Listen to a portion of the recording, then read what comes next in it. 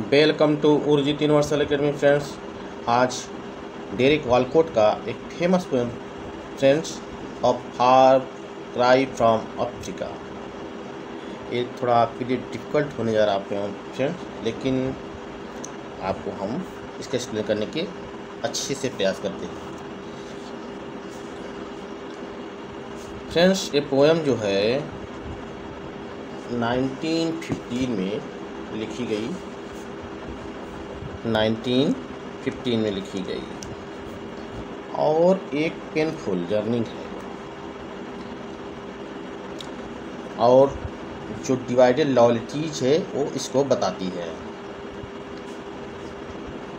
Publish friends 1962 में हुई थी। और जो एक स्ट्रगल है फ्रेंड, स्ट्रगल किसका फ्रेंड? जो की क्यों जाति है अफ्रीका की अफ्रीका में भी मूलतः जो केन्या के जाति हैं की जिसने एक मूवमेंट शुरू किया था, माओ माओ। उसको यह बताती है कि आथर अपनी जो यहाँ एक डिलीमा में अपनी ख़त्म करती है, यानी कि मिक्स्ड आइडेंटिटी को बताते हैं।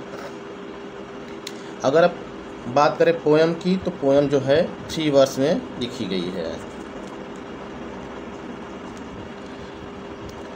शुरू के शुरू के थ्रो, थ्री स्टांज में स्टंजा में लिखी गई है और दो स्टंजा में अफ्रीका के वायलेंस की बारे में वर्णन हुआ है। यानी कि ब्रिटिशर के द्वारा जो वायलेंस है, कि, केन्या में जो उपनिवेशवाद है, उसको यहाँ बताती है। उसी के दौरान यहाँ सेट की गई है। बाद की स्टंजा में आथर एक डिलीमा में है, कन्फ्यूज़न में है। यानी आथर के जो दादा थे, वो वाइट थे, उनकी जो मदर थी ब्लैक थी अफ्रीकन थी। यानी उसी में कह रहे हैं कि मैं किसका साथ दूँ आथर? ब्रिटिश सर के साथ दे कि अफ्रीका का साथ दे? यानी दादा के साथ दे या दादी के साथ दे? यानी फ्रेंड्स जो एक पोएम है माओ माओ एक, जो विद्रोह रहा है, उसके दौरान सेट की गई है। यहाँ पे फ्रेंड जो था केन्याई जो मूल के लोग थे ब्रिटिश का शासक उपनिवेशवाद था। अफ्रीका को भी अपना उपनिवेश बना रखा था ब्रिटिशर ने। जिस तरह इंडिया गुलाम था, उस तरह केन्या भी गुलाम था। संघर्ष के दोनों पक्षों में जो विद्रोह होता है, वो सेट है। स्पीकर के भीतर जो डिलीमा है, वो स्पीकर बताती है। डिली वहाँ के पहचान के साथ स्वयं का अपना अनुभव बताता है। उनके जो अधिकांश वर्ष हैं, वो उपनिवेशवाद पे आधारित है।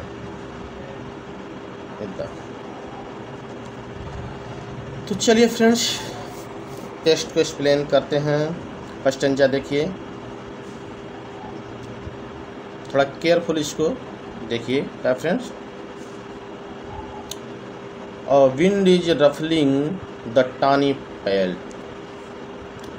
इसमें देखिए फ्रेंड्स डिफ़िकल्ट वर्ड भी आपको मिलेंगे। विंड को कहते हैं हवा रफल कहते हैं व्याकुल करना। व्याकुल कर देना। And the tawny pelt tawny pelt means पीली चमड़ी। पीली चमड़ी एक्चुअल में वो यहाँ कह रहे हैं, जो विंड है, उसमें जो हवा है, जो हवा रूपी जो ब्रिटिशर है, उसने यहाँ एक व्याकुलता पैदा कर दी है। कहाँ? टानी पेल्ट यानी पीली चमड़ी। टानी पेल्ट यहाँ फ्रेंड्स डबल मीनिंग मिलता है। यानी पीली चमड़ी एक समाना की जो घास है, उसको भी टानी पेल्ट कहते हैं। यानी कि दूसरा मीनिंग आप कह सकते हैं कि जो कोमल हवा है, अफ्रीका की घास को उड़ाती है, व्याकुल करती है।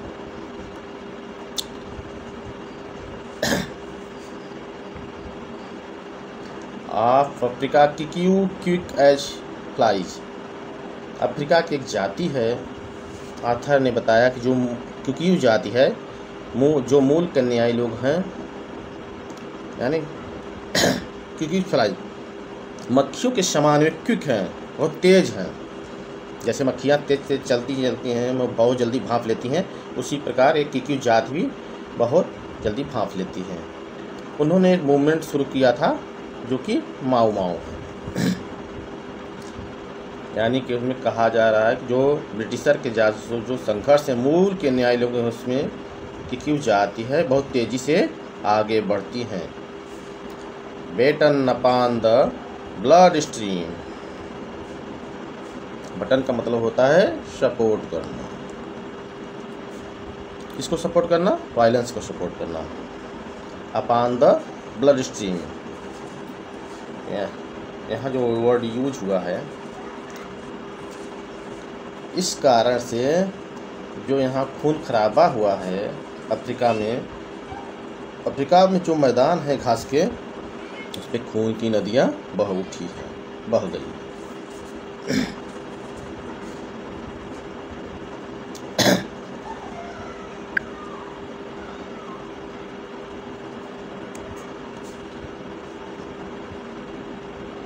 corpses corpses are scat scattered through the paradise. यानी ये जो क्रॉप्सिस है कभी वो धरती का सौ, स्वर्ग था, लेकिन वहाँ इस समय डेड बॉडी पड़ी हुई है। इसके कारण एक विद्रोह के कारण विद्रोह ये था कि जो वायलेंस था, यानी कि ब्रिटिश में भी वायलेंस किया अफ्रीकन मूल के लोग जो हैं, उन्होंने भी टिक्यू जाति ने, उन्होंने भी वायलेंस किया।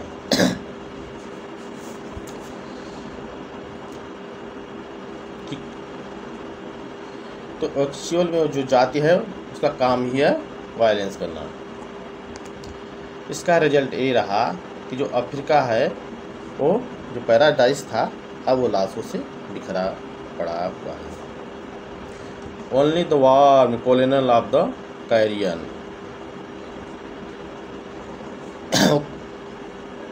वो कहना चाह रहे हैं कि कर्नल करियन वास्तव में कीड़ा है। एक मरे हुए कीड़ा की उपेक्षा करने के लिए के लिए चिल्लाता है चिकराइज और कह रहा है we should no compensation. On the separate. और कह रहे हैं कि जो मरे हुए लोग हैं, उन पर हमें दया नहीं करनी चाहिए। यानी मरे हुए लोग की उपेक्षा करता है। आगे कहता है statistics justify and scholars seize और जो विद्वान और धनी लोग हैं, वो स्टैटिक्स का अध्ययन करने में बिज़ी हैं। और आरामदायक वो नीतियाँ बनाते हैं, स्टैटिक, स्टैटिकल नीतियाँ बनाते हैं। नेक्स्ट फ्रेंड्स लाइन देखिए। समझ गए होंगे आप, यानी कि जो ब्रिटिशर हैं, वो पॉलिसीज़ बनाने में में तेज हैं। लास्ट के दो लाइन देखिए। Is that white child had in bed. वे कहते हैं कि क्या हुआ? अगर एक वाइट चाइल्ड है तो उसे मार डालना। यदि यदि एक अंग्रेज़ अंग्रेज़ के बच्चे को नींद में हत्या कर दी जाए तो क्या बुराई है? उसमें उस बच्चे का क्या दोष है? यानी कि जो गोरे लोग पॉलिसी बनाते हैं, उसके वो विरोध में हैं। अफ्रीका वो वो अफ्रीकन के विरोध में हैं। यानी वे जो गोरों के छोटे बच्चे हैं, उसको भी वो मार देते हैं। उसकी तो उस छोटे बच्चे की क्या गलती, उसको तो बचाना चाहिए। लेकिन वे एक और चीज़ आगे कहते हैं कि लेकिन वो एक तरह से वो हिंसा है। जैसे कि हिटलर ने ज्यूस के साथ व्यवहार किया था, सेकेंड वर्ल्ड वार के साथ। नाजियों के द्वारा जो यहूदियों पे वार किया गया था अमानवीय व्यवहार था, उसी की तुलना करते हैं।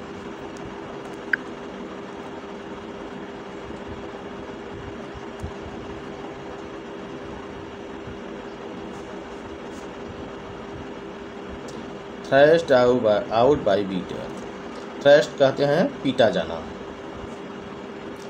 आउट बाई बीटर यहाँ बीटर्स से मतलब है किसान से। तो जो किसान हो फ़सल काटते हैं, उसके द्वारा थ्रस्ट किया जाता है, द लॉन्ग रसेस। जो लंबे घास के डंठ रसेस। Break in the white dust ibis whose cries field science civilization बार एक सफ़ेद ढोल में अबीज अबीज एक पक्षी होता है जो कि अफ्रीका में पाया जाता है बकुला के समान पूछ रहे आई आईबीज धूल की तरह से हवा में आईबीज यानी कि जो पक्षी हैं, धूल की तरह हवा में उड़ते हैं। ये जो आईबीज हैं, सभ्यता से भी पुरानी हैं सिविलाइजेशन के। यानी कि जो फ़सल है, किसान है, फ़सल काटते हैं जो डंठे टूट जाते हैं आईबीज हवा है हवा में उड़ते हैं, उनकी जो पुकार है यानी जो हवा में उड़ते हैं, उनकी जो पुकार है, सभ्यता की पहचान है, उनकी पुकार सुनी जाती है। कहाँ तक? फ्रॉम पाज रिवर बेस्ट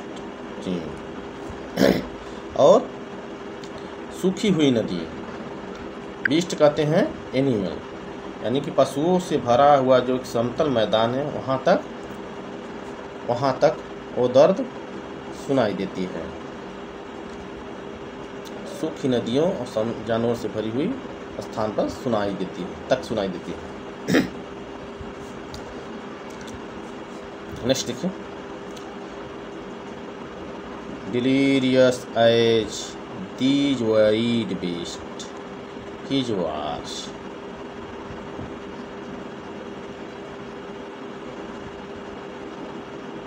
friend इसके पहले आप छोड़िए वायलेंस जस्ट फ्रेंड्स यहाँ एक लाइन आपको देख लीजिएगा। The violence of beast on beast the violence violence on beast is beast is read be beast is beast read as natural law as natural law. ये यहाँ लाइन कट गया है typewriter के द्वारा। एक जंगल का सिद्धांत होता है कि जानवर जानवर को खा जाता है। अगर खाएगा नहीं तो वो ज़िंदा कैसे रहेगा? यानी एक प्राकृतिक सिद्धांत है हिंसा एक पशु दूसरे पशु को मारता है, एक नेचुरल लॉ है। But right man seek divinity by infecting pain यानी आगे कहते हैं कहते हैं कि सज़ा देना। जो ऑनेस्ट लोग हैं seek is bleaching by in flinching pain वो दर्द देकर, सज़ा देकर अपनी डिजिनिटी को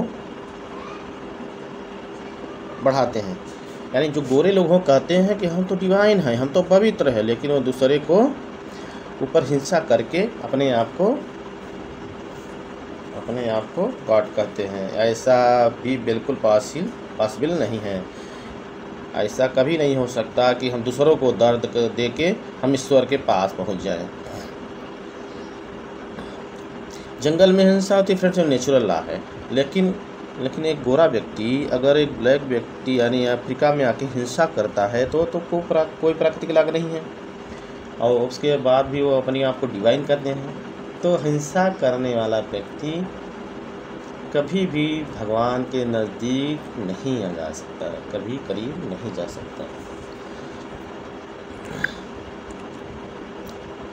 डिलेरियस दीज वरीद बीस्ट, वास्तव में ये जो लोग हैं, जानवर के समान हैं। वरीड बिस्ट, यानी कि घबराए हुए जो जानवर हैं, उनके समान वे बेसुध हैं। His wars dance to tighten carry carcass drum. Carcass कहते हैं लाश ड्रम कहते हैं ढोल को।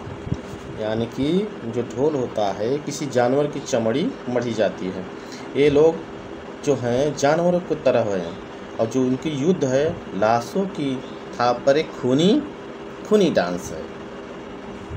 यानी एक ब्लडी डांस है। यानी ये लोग कैसे हैं? जानवरों के समान हैं, इनके जो युद्ध हैं, लाशों के ढोल के थाप पर एक खूनी नृत्य है। आगे फ्रेंड देखिए वाइल ही काल courage still the native dread native dread of white fish contracted जो आगे कहते हैं कि जो देसी कन्या कन्याई लोग हैं नेटिव हैं, वो सासी हैं। लेकिन वो आगे कहते हैं कि जो वो गोरे लोग हैं उन सभी को मार डालेंगे और मारने के बाद शांति आ जाएगी।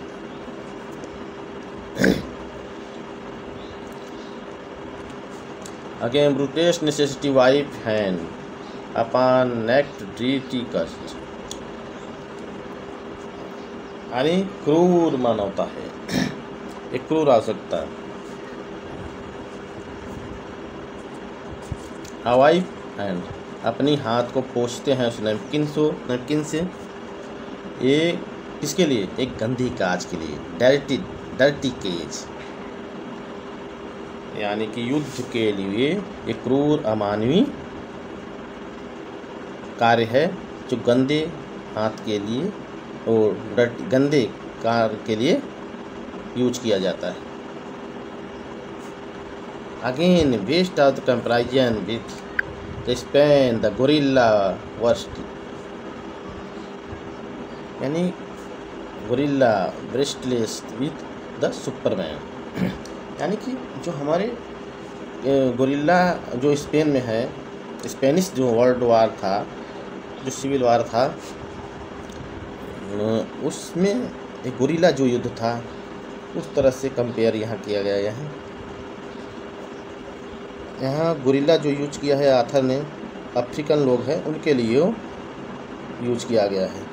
यानी जो सुपरमैन के साथ लड़ते हैं, उसकी पुष्टि करते हैं गोरिल्ला वर्ड यानी बिल्कुल उसी तरह स्पेनिश गृह युद्ध के, युद्ध में जैसे अत्याचार हुआ, यहाँ से आगे बात बढ़ी, जो रूढ़िवादिता है,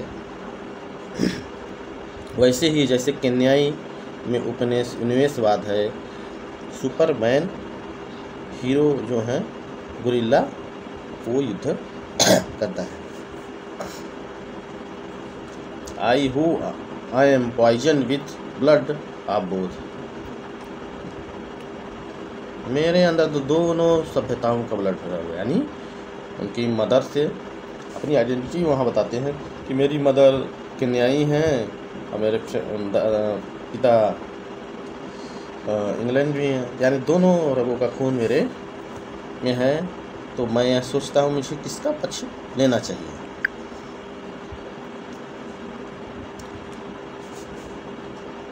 तो तो बार बार इसमें कहती कह रहे हैं कि मैं, मेरे अंदर दोनों ब्लड है, मैं किसका पक्ष लूँ? यानी कि मेरे अंदर दोनों सभ्यताओं का ब्लड है, जो पॉइजन लिए हुए हैं। मैं किसकी तरफ़ जाऊँ? वेस्ट साल टर्न डिवाइडेड बैन, मैं बटा हुआ हूँ। मैं किसकी तरफ़ जाऊँ? I who have crushed the drunken officer of the British rule, who, how choose? से नहीं समझ में आता, मैं कैसे बटूँ किधर जाऊँ? वो कहता है मुझे ब्रिटिश अधिकारियों से प्यार नहीं है। यहाँ ड्रंकर्स से मतलब है जो पावरफुल अधिकारी हैं। जो सत्ता के नशे में ऑफिसर्स हैं, उसकी कोई परवाह नहीं है। यानी ब्रिटिश सत्तारूढ़ पावरफुल अधिकारी हैं, उनसे मुझे प्यार नहीं है। जिन्होंने इसे यहाँ उपनिवेश पे कब्जा किया हुआ है।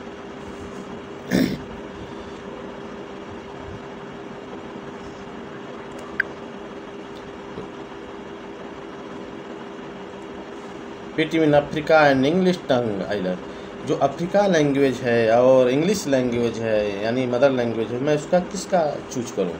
यानी कि दादी वहाँ की थी, अफ्रीका की, और अंग्रेज़ी पिता की तो दादा की तो मैं किसका चुनाव करूँ?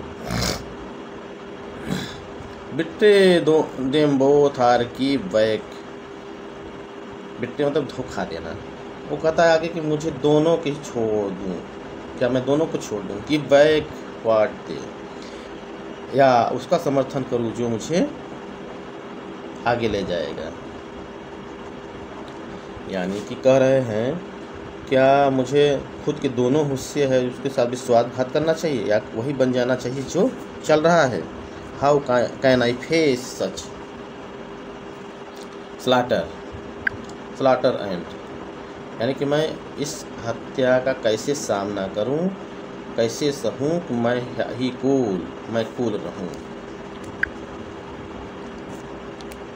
How can I turn from Africa and life मैं अफ्रीका से कैसे मुड़ूं और मैं ज़िंदा रहूँ? यानी कि वो सब कैसे ठीक हो सकता है जो अफ्रीका के लोग हैं? यानी मेरे दोनों तरफ़ खाई हैं। अगर अफ्रीका अगर अफ्रीका का पक्ष करो तो भी नहीं ठीक है। ब्रिटिश का पक्ष करो तो भी नहीं ठीक है। तो तो दो क्योंकि मेरे अंदर दोनों का ब्लड मिला हुआ है। थोड़ा डिफ़िकल्ट पोएम है फ्रेंड्स मगर समझ में आया होगा मुझे। आशा है। तो चलिए फ्रेंड्स नेक्स्ट टाइम मिलते हैं।